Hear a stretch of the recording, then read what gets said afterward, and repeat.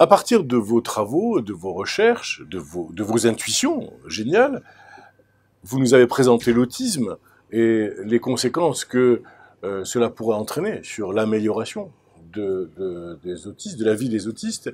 Est-ce que dans la maladie de Parkinson, on a un modèle similaire?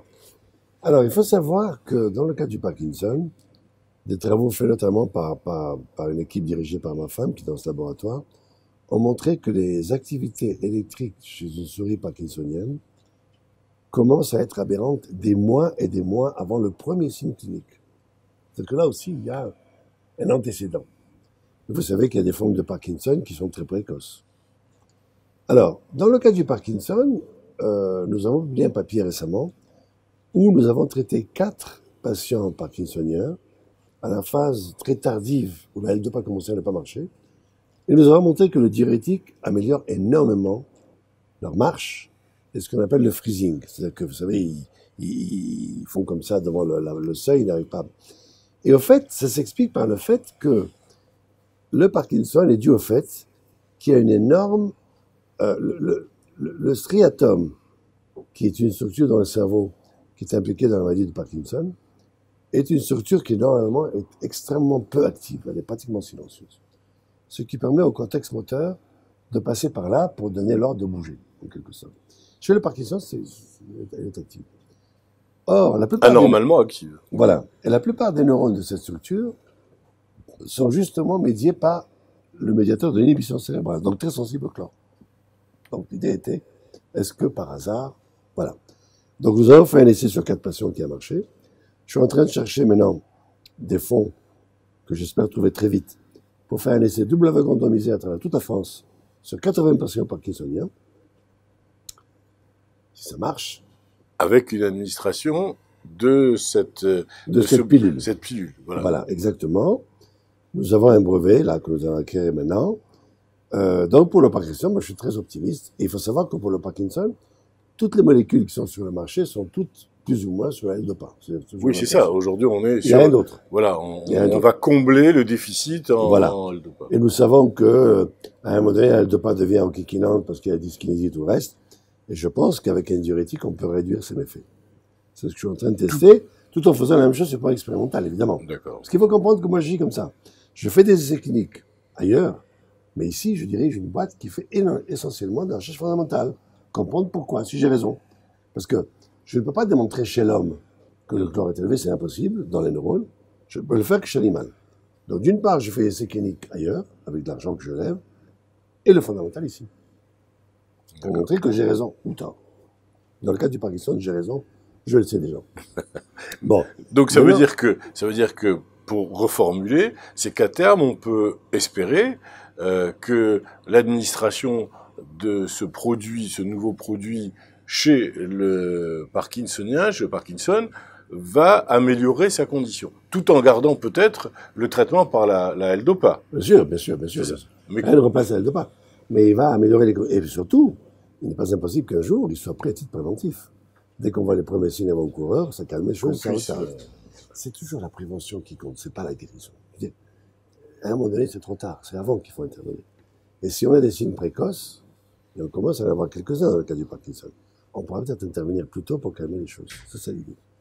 Bon, maintenant, ce que je vous ai raconté ne s'applique pas qu'à ces maladies-là. Parce que, comme je vous l'ai dit, il y a des dizaines de maladies, ou d'insultes, ou d'agressions, dans lesquelles le chlore augmente. Notamment la douleur neuropathique. Vous avez une douleur neuropathique, eh bien, on sait déjà chez l'animal que les diurétiques calment. Ça, ça a déjà été démontré.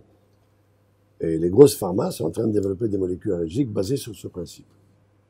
Sauf qu'elles, elles jouent surtout sur la molécule qui exporte le chlore, qu'elles essayent d'améliorer. Mmh. Alors que moi, je bloque l'importateur de chlore. C'est deux stratégies différentes. Mais il y a également les maladies de développement. Par exemple, les épilepsies. Les épilepsies infantiles sont souvent dues au fait que, vous savez que quand le cerveau se construit, il migre. Il prend un ascenseur et il migre sur un étage, le cortex ayant six étages.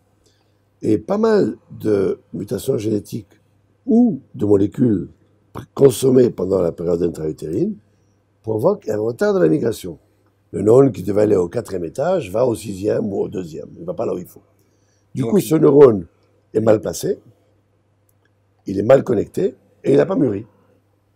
Donc on revient à la théorie initiale. Neuroécologie. Et, et dans le cadre, par exemple, de l'épilepsie, on va avoir, on peut avoir ce genre de, de problème. Alors, il y a, alors l'épilepsie, c'est évidemment très hétérogène, il y a des dizaines de causes d'épilepsie. Nous et beaucoup d'autres avons montré que dans certains types d'épilepsie, les neurones ont un chlore élevé et les diurétiques peuvent calmer les crises d'épilepsie.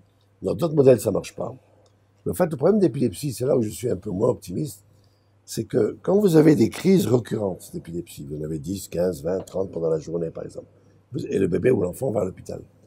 Il y a eu tellement de crises récurrentes que le système ne marche plus.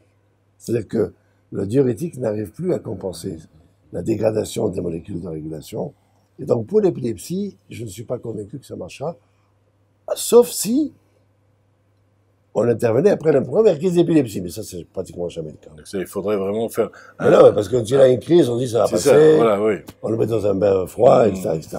Donc, euh, je suis pas optimiste pour l'épilepsie pour des raisons, euh, je dirais, cliniques. Ou alors avoir un jour euh, la possibilité de faire des diagnostics euh, extrêmement tôt.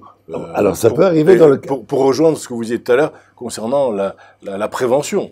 voilà. Alors, c'est vrai que l'imagerie, c'est vrai que l'imagerie peut aider. En imagerie, on voit maintenant des, des foyers qui se sont déplacés, d'accord, de neurones. On les voit maintenant. Donc effectivement, on peut intervenir là.